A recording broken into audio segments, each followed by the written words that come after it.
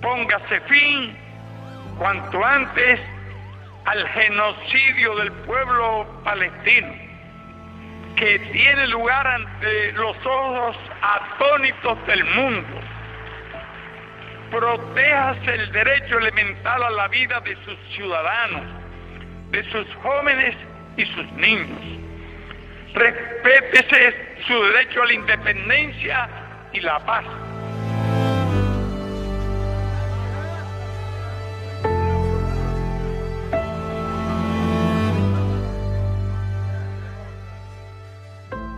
Nosotros hemos vivido en carne propia los embates y las eh, consecuencias de la proliferación del terrorismo en nuestra región. Había que enfrentar a este terrorismo. Partes del pueblo en forma de resistencia popular se han enfrentado de manera armada a esta bestia que comía el mundo en la región pero en la comunicación nosotros veíamos que había una brecha muy grande. De hecho, existe la brecha, sigue existiendo. Y hemos entendido que esta guerra, y recuerdo aquí una vez el comandante en jefe Fidel Castro dijo que el enemigo nos gana por la ignorancia.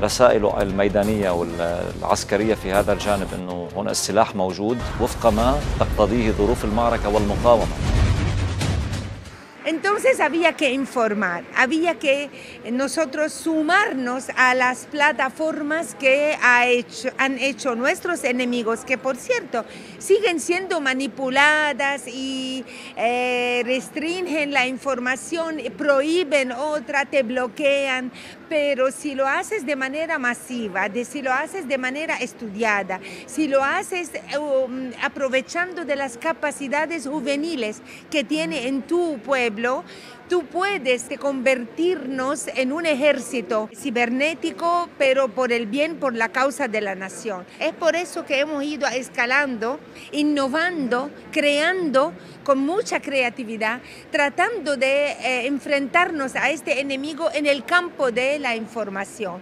llevando la verdad y la razón en la mano, no tenemos de otra. Sacar el corazón por la palabra y también la razón y los argumentos.